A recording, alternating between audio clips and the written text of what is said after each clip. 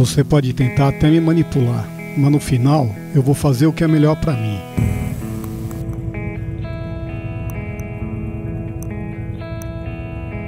Eu não tô nessa vida para agradar, para obedecer e nem para seguir regras que não fui eu que criei.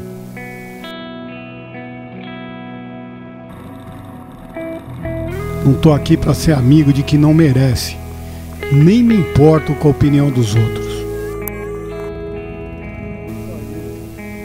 Eu não tô nessa vida de passageiro. Eu crio meu destino.